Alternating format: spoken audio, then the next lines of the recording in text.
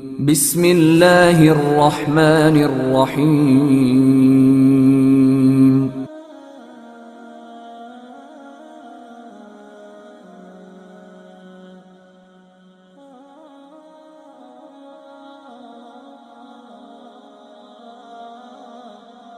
उन पर तनकीद का हक आपको हासिल है।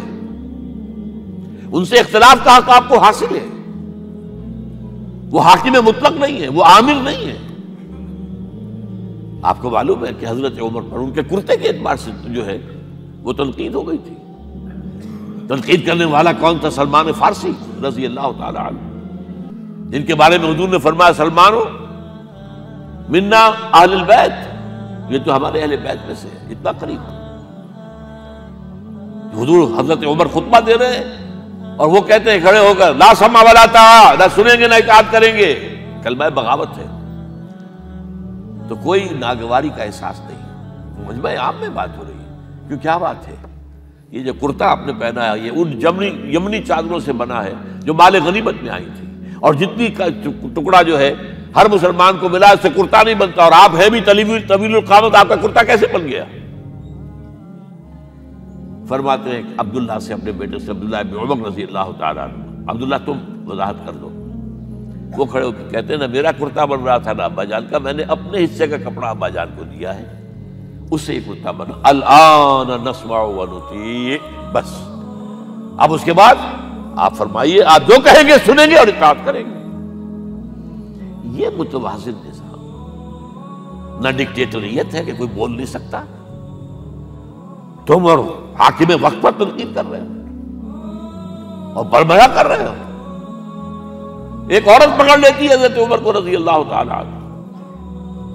हज़रत उमर ने ऑर्डिनेंस नाफिज कर दिया था कि इतने से ज़्यादा, इतनी रकम से ज़्यादा मेहर नहीं रखा जा सकता। उमर, तुम कौन होते हो हमारे हक के ऊपर पाबंदी लगाने वाले? जब कुरान में है वहाँ तय तुम एदा किंतारन, चाहे तुमने अपनी किसी भी को ढेरों सोना दिया हो, तब भी तलाक की शक्ल में वापस नहीं दे सकते। किमतार कह रहा है। आप कौन है रोकने वाले? और हज़रत उमर फरमाते हैं आज एक औरत ने उमर को दीन सिखाया। ऑर्डिनेंस वापस। इसी तरीके का मामला, हज़रत उमर का ये इश्तेहाद था कि ये जो जमीनें इतनी बड़ी बड़ी जो है, सवाद, इराक, ईरान, मिस्र, सब फतह हो गए, चंद हज़ार साहबा। अब मुतालबा यह था कि ये माले गरीब होते, हमारे अंदर तकसीम कर है। जैसे हुजूर ने गजवा खैबर में, जो जमीनें थी यहूदियों की, वो मुजाहिदीन में तकसीम कर दी थी। दलील मौजूद। दलील भी सुन्नत रसूल से है सल्लल्लाहु अलैहि की हिकमत कुछ और कह रही है। ये बात तो मैं अपने अंदाजे से कह रहा हूँ कि अगर ऐसा हो गया तो तारीख इंसानी की सबसे बड़ी जागीरदारी कायम हो जाएगी। कितने बड़े बड़े रकबे जो है साहबा को मिल जाएँगे। लेकिन उन्होंने जो बात बयान की वो ये थी, अगर ये सारा तकसीम हो गया तो बाद में आने वालों के लिए क्या रहेगा? और जो फौजें अब हमें पूरे निज़ाम के लिए रखनी पड़ेगी, उनको कौन सपोर्ट करेगा? उनके लिए कहाँ से खर्चा आएगा? तो उन्होंने तय किया कि ये माले जो है, फे, माले फे है, ये बैतुल माल का है। जो माले गनीमत है, वो सिर्फ़ वो होगा जो एन महाज पर हासिल हुआ है। हथियार हैं, या भेड़े, बकरियाँ हैं, या और जानवर हैं या वहाँ पर जो पकड़े जाएँगे कैदी वो गुलाम होंगे, वहाँ पर अगर औरतें होंगी, पकड़ी जाएँगी कनीजें होंगी ये नहीं कि पूरे पूरे मुल्क जो है वो गुलाम बना दिए जाए और पूरे पूरे मुल्क की जो जमीनें तकसीम कर दी जाए। बात साहबा खड़े हो गए, नहीं। अब हज़रत उमर ने ट्रिब्यूनल कायम किया है। पाँच साहबा औस में से, पाँच खरजर में से बैठ जाइए। वहाँ अपना भी वो पेश किया नुकता नज़र बाकी उन्होंने भी किया। वो ट्रिब्यूनल ने फैसला किया कि उमर की राय सही है, रज़ी अल्लाह ताला ये निज़ाम। सैयदुल कौम खादिम हम, या अगर कोई कहता, अगर ये मिसालें ना होती तो कहते, क्या तुम्हारा दिमाग खराब हुआ है? ये शायरी तो तुमने अच्छी कर दी है। सैयदुल कौम खादिम हम कभी हुआ है? लेकिन उमर ने बन के दिखाया है।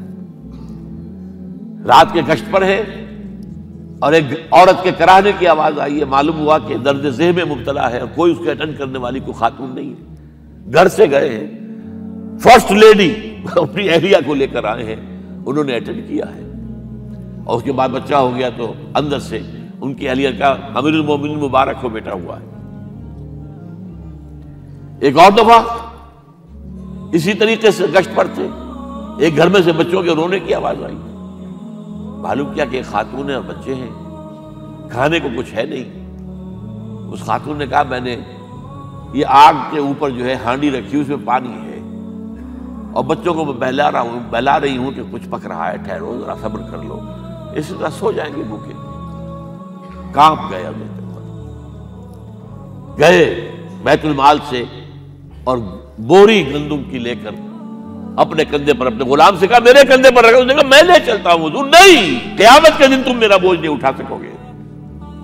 और वो अपने कंधे पर लाद कर लाए हैं और वहाँ खाना तैयार करवाया, बच्चों को खिलाया।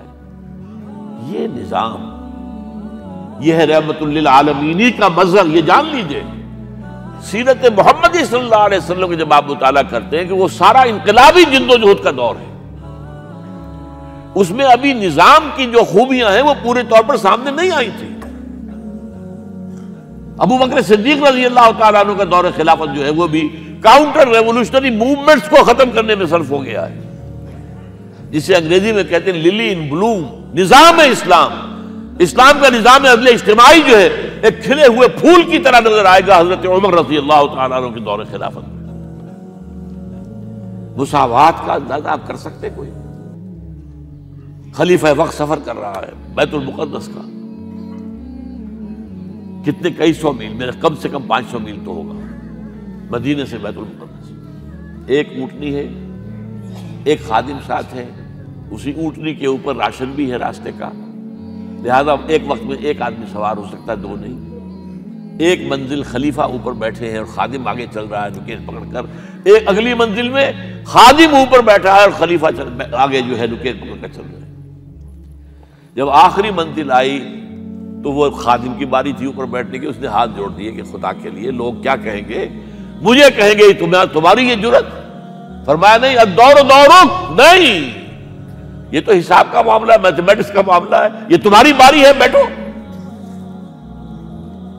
ये बुलंदियाँ, ये अजमतें ये अदल, ये इंसाफ, और फिर ये कि बोरिया नशीन, कोई महल नहीं। एक आया ईरानी मदीने में चक्कर लगाया।